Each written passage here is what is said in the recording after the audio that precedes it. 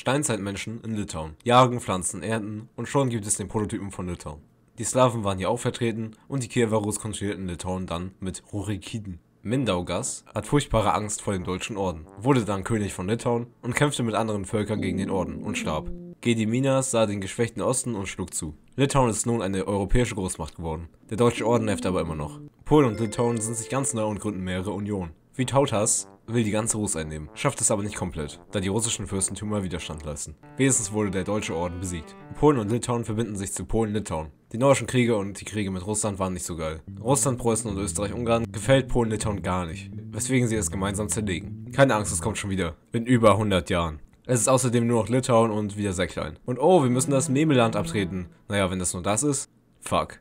Litauen gehört wieder zu Russland, wird dann von den Deutschen überrollt, wird dann wieder von den Russen überrollt. Nach knapp 45 Jahren singen die Litauer, um befreit zu werden. Jetzt sind sie ein kleines europäisches Land, was nur wenige kennen.